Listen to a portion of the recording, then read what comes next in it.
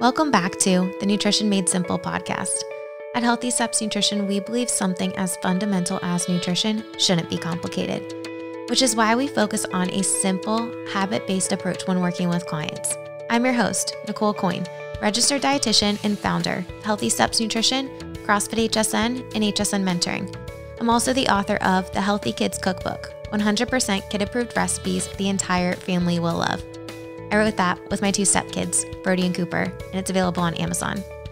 In this podcast, we will be teaching you how to take one step at a time to becoming the healthiest version of yourself. Today, Ashley and I are talking all about the top three nutrition myths that we get asked about often. There's so much misinformation on the internet about nutrition and diets. It's tough to know what's right and what isn't. Well, today you are in luck. In this episode, we discuss cutting specific macronutrients like fat and carbohydrates. We discuss understanding health food claims at first glance that might look seemingly healthy. And the last one that we talk about is severely restricting your calories and what it could do to damage your metabolism. Well, one of these myths is really diving into food labeling and marketing. And one of the things that we discuss is understanding how to read a nutrition facts label and understand how to cut through the noise with marketing claims around food. To go along with this episode, click the link in the show notes and download the beginner's guide. This will be a really big help for you. We will get to this episode right after this message. Do you know someone who's looking to become a healthier version of themselves? Are you? We would love for you to share this podcast with them. You never know who could use some words of encouragement. Take a screenshot, post it on social, and tag at Healthy Steps Nutrition so your friends can find this awesome free help. Also, don't forget to subscribe so you don't miss another episode. Enjoy this episode on nutrition myths with Ashley Osterman and myself. Ashley, welcome back to the Nutrition Made Simple podcast. Hi, Nicole. Thanks for having me. Today, we are talking about the top three nutrition myths. And honestly, it was tough for us to pick just three. There's so many out there. Yeah, unfortunately, there are so many nutrition myths, but we're going to bust these top three for you guys today. The food and beverage industry is a $14 billion industry in advertising. So there's a lot of money spent telling people that, you know, eat this food. Yes. You know, more than 80% of this advertising promotes fast food, sugar sweetened beverages, candy, and highly processed, unhealthy snacks. And that $14 billion a year that's spent on advertising in the United States completely dwarfs the $1 billion budget for all chronic disease prevention and health prevention in the US. So let's just talk. I mean, it's understandable why there's confusion, right? Of course. Understandable. Marketing companies, food and beverage companies do a really good job making us think that foods are healthy. So let's just dive in with these myths. The first one is that insert X macronutrient is bad. Oh my gosh. And I remember as a kid growing up, um, while, while back, that the first thing I heard was fat is bad for you, right? Everyone was on a low fat, fat free type of diet. And, you know, we were thought and told that this was healthy. Like, like, just get rid of fat and you'll be good. You'll lose the weight, you'll be healthy and look exactly like you want to. But that's not necessarily the truth. You know, fat is the most calorically dense macronutrient and a little bit goes a long way, but we need fat. We need fat because it's a component of our membranes. It aids in absorption of fat soluble vitamins mm-hmm. and it also keeps us full and can be used as a source of energy. So we want fat in our diet. And when we're limiting and going to fat free things, they're replacing that fat with something else, likely sugar, as a stabilizer. Yes, because when you remove the fat, the palatability, the the the taste kind of starts to go down. And so the marketing companies figured out that hey, if we remove fat and we add sugar, people will still like this food product. Exactly. So there's lots of different sources of fat of fat. So we have plant sources of fat, animal sources of fat, and I think it's important for people to understand where are they getting their fat from. You know, a lot of our nutrition clients if they're eating sausage and highly fatty red meats, it's to cause them to maybe have too much fat for the day. So focusing on lean sources of meats, medium sources of, of meats, medium fat sources of meats, and plant-based sources of fat is going to help us ensure that we're not getting too much, but we're also getting enough. Yeah, and when we talk about like healthy plant based sources of fats, I'm talking about things like avocado, nuts and seeds, coconut, olive oil, those healthy fats that we would really like to get in our diet. And we know that there are some fattier meats that we should limit and have in moderation. But a good tip would be that if you are going to cook something that has a little more fat on it, like a meat, trim that fat off before you cook it. And, you know, also think about too, when we're having fat, like Nicole mentioned, it is very, very calorically dense. You know, it provides nine calories per gram um, compared to four calories per gram for other two macronutrients. So a little bit goes a long way. So think about that when you're adding your oil to the pan pan or oil to a dressing, things like that. Not to overdo it with that fat. A lot of people don't even realize how much fat they're consuming for just pouring a bunch of oil. One of the things that we love to use is those spritzers, yes. right? So it cuts down a little bit of the amount of fat, but fat slows down digestion. So it's actually going to keep you full longer if you have some fat in your meals. If we're just having protein and carbohydrates, it's going to break down a little bit faster and not keep us as full and satisfied for as long. So I hope this this first myth here about fat is bad. No, fat's not bad. We need fat in our diet. We want fat. It's just in moderation. The next macronutrient that I think has gotten the bad rap most recently, carbohydrates. Oh yeah. Carbohydrates is a huge umbrella. There are so many foods that fall under carbohydrates. And you know, we need carbohydrates. Carbohydrates are so important for us. They're our body's main source of fuel. And by consuming carbohydrates, it keeps protein from being broken down and used as energy. They also aid in the oxidation or the breakdown of fat, which is something we want to happen. Um, but when we talk about carbohydrates, I think there's two things to keep in mind here. We want carbohydrates that are going to be high in fiber and lower in sugar. So, really looking at the quality of the carbohydrates that you're eating. So, recently, the nutrition facts label now tells us how much added sugar is in food. So there are natural sources of sugar, mm-hmm. right? Like fruit has natural sor- sources of sugar, dairy has natural mm-hmm. sources of sugar. So those would be natural, but then there's a lot of food companies that add in extra sugar to make it taste even better, right? Yep. Mm-hmm. So it's important to look at the nutrition facts label to see, okay, how many total carbohydrates is in this food? What is the breakdown? Is it a high percentage of fiber? Fiber is a non digestible carbohydrate, so it's going to slow down digestion, help keep us full a little bit longer. And um, we want to make sure that we are having foods that are, are higher in fiber and and lower in sugar. If foods are higher in sugar, then it's going to cause our blood sugar to go up, spike up, and then crash right back down. So we don't want to have foods that are super high in sugar. So when we say, you know, choose carbohydrates that are, are low in sugar and high in fiber. We're saying when you're looking at your nutrition facts label, looking for a carbohydrate source that is less than four grams of sugar and more than three grams of fiber. So, guys, choose those whole grains, those vegetables, those fruits. Shop the perimeter of the store for those minimally processed carbs for you to load up in your diet. Absolutely. And the carbohydrates, those starchy carbs, should be about one fourth of our plate for most people. And we also want to load up with those non starchy vegetables. So that's going to be about half of our plate. That's going to give us a lot of fiber, vitamins, minerals that are going to help optimize our, our metabolism, help fill up our stomach with volume. No one wants to be hungry. so we want to have those, those yummy vegetables that are loaded with, with vitamins and minerals and fiber. So I think the takeaway from our first myth, you know, insert food group is bad, is that incorporating a balance and variety of foods and macronutrients to meet your needs is what is going to be best for you. And keep in mind that balance looks different to everyone, and it's really based on your goals, your activity, and your medical history. Love that. All right, let's talk about number 2. This one tricks everybody. Health claims, health labels, healthy labels. Yes. You know, I want to go back to something we were talking about at the beginning of this episode. You know, food marketing.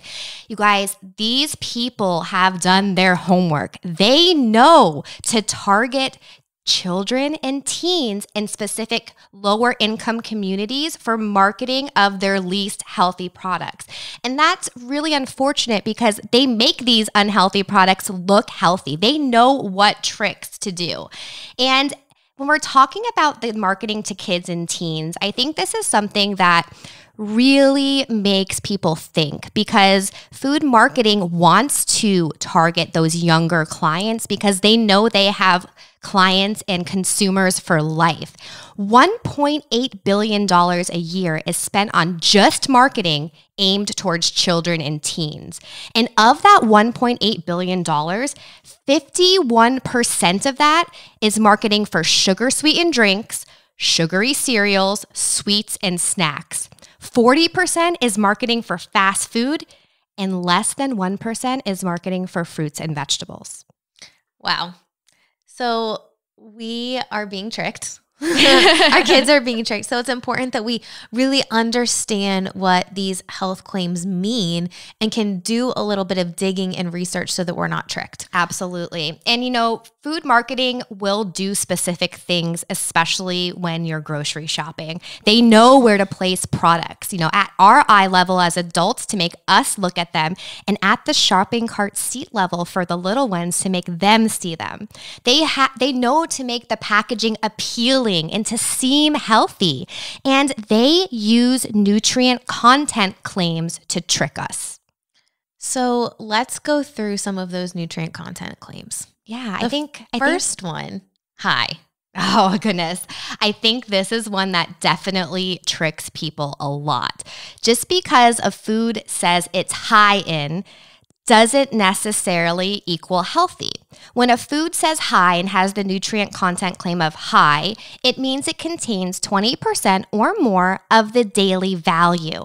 So, for example, you might see a child's yogurt that says high in protein. Okay, great. That might be a good option, high in protein. It just means it contains 20% or more of the daily value. But then we flip over the box of yogurt and you look at the ingredients, and the first ingredient is sugar. So even though the product is high in protein, doesn't necessarily mean it's going to align with your health and wellness goals for you and your family.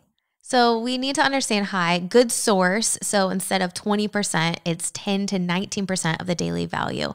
So we want to, if we see that, the next step would be turn it over and look at the nutrition facts label to see, all right, what is actually in this food? How is the macronutrient breakdown as far as protein, carbohydrates, and fats? How much sugar's in there? Is it going to actually help me stay full and satisfied, or am I getting tricked? Yes. And you know, the sugar one is another one that can trick you, right? When you see something that says reduced sugar or less sugar on the product as the nutrient content claim, that does not necessarily mean that it's low sugar. Reduced or less sugar claim means that at least 25% less sugars in that product than the regular product. So if the regular product had 100 grams of sugar in it, the reduced or less sugar product has 75 grams of sugar in it. So not low sugar, not sugar free, just less than the original product. Same thing with low. Yes, same thing with with less or low, absolutely. And then no sugar added is another one that we see a lot. When it's no sugar added, that just means there's no sugar or sugar containing ingredient added during the processing or packaging. But doesn't mean there's no sugar at all. There was just nothing added during that time. awesome. So it's important to understand those those nutrition claims, but then we want to go to the ingredients list and actually look. Remember, the first ingredient is the most abundant, second ingredient is the second most abundant, so on and so forth down the line to where the last ingredient listed is the least abundant in that food product. Now, I think a lot of people are tricked by foods that that seemingly are healthy and sometimes they're not the best option. And I know I've personally been tricked by some of the different cauliflower pizzas but then they have other st- sources of starch in there and carbohydrates and it might actually be the same amount of carbohydrates in the cauliflower pizza than than the regular thin crust pizza Yep. And if you're thinking like, oh, I'm going to get this thing and it's going to be healthy, it's going to be um, a little bit more balanced, but you don't actually look at the back in the nutrition facts label, hey, we've all been there. We've all been there. All been tricked. So eh, the main thing is just to understand and educate yourself with what are you looking for and how to read a nutrition facts label to understand is this actually going to help me get closer to my goals. And you know, for our listeners out there, one of the most tricky types of foods out there with the labels and looking seemingly healthy are those convenience breakfast items, especially for kids. I know I was recently tricked with oatmeal. Um, I grabbed one thinking it was the one I normally get, and I looked at the back when I got home, lots of sugar, but it had whole grain on the front. Or those Pop Tarts that say a good source of fiber, 100% whole whole grains, and then the first ingredient is sugar. Um, another one is, you know, kids' snacks. I know these can be very confusing too because you get a snack that says, you know, good source of vitamin C, 100% natural, but then turn them over and when you look, you know, sugar is the first ingredient. So I really encourage and want to empower you to make sure you're looking at nutrition facts labels when you're thinking you're buying something that's seemingly healthy. And don't beat yourself up if after this you look in your pantry and there are quite a few things that you thought were healthy that aren't because we've all done it. We've all been there. yes, we have. All right, number 3 myth that we hear a lot and see a lot is people like severely restricting their calorie intake or eating significantly less than they need to. And we have something called a basal metabolic rate. So that is how many calories you need to maintain where you're at daily living, how many calories you burn if you were to lay down all day. Yep. What you need to survive, basically. So we have to at very minimum eat that amount and sometimes when people are trying to lose weight or you know get quick results, they might severely restrict their their diet. And what happens is we tend to over consume later in the day. I was working with a client recently and he was like, We had people over, we were gonna have this cookout, and then the cookout, you know, went a little bit later and we ate breakfast, but then I didn't eat and it was like four o'clock and I was starving, and then I just started over consuming, and then I felt pretty like I didn't feel great after. And I was like, okay, well, I get it. A lot of times things happen and, uh, you know, we can't always plan, but could we next time have some convenient options available to grab a snack if things are, are getting pushed back later to set yourself up for success? Yeah, you know, that's so common when we we restrict, we don't eat enough during the day and to eat way too much at the end of the day. And it's not your fault. Your body is screaming out for nutrients, you know. They, your body knows it needs to eat. But the best practice is to eat sufficient calories and eat frequently throughout the day.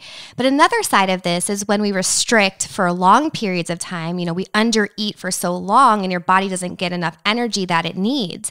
Initially, we'll use our fat stores for energy. And that's that's how most people begin to lose weight. But over time, your body actually adjusts to this calorie deficit and your metabolism will slow down because it's not burning energy as efficiently. And then your weight loss stops because your metabolism is slowed. And it becomes really hard to maintain your weight eating anything more than a set number of calories that your body's adjusted to. So it becomes very, very difficult to lose weight despite hard efforts and eating clean and exercising regularly. So I think the take home message for this is you, you want to be sure that you're eating enough to support your activities and your basal metabolic rate.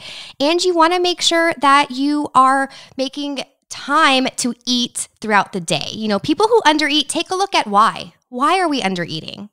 I think a lot of time it's lack of time or schedule, we get busy or we don't have anything prepped. Um, but what could we actually do to help set ourselves up for success? And sometimes, you know, especially some people are stressed and they end up not eating enough yeah. when when they're stressed could you get yourself into a routine? Could you set yourself an alarm so that you're reminded, hey, it's time to eat. I have to eat something. Can you have meals and snacks easily ready to go so that you don't have to waste too much time prepping everything from scratch? At the end of the day, it really comes down to having a plan. Absolutely. You need to have a plan. If, if you want to see success in reaching your goals, you have to plan out how it's going to happen. Absolutely. And talking that through with a coach is, is oftentimes really, really helpful. So today we went through some common myths. Yes. We talked about, you know, why you need a balance, why Fat's not bad. You need some carbohydrates. You don't need to completely avoid these things. Protein, we didn't talk about. Protein doesn't have a bad rap. So, you, protein's the building blocks of muscle. We need some of that as well. Um, healthy claims and labels, which I think is such a common myth, and people are tricked by that all the time. We've Yeah. all been tricked.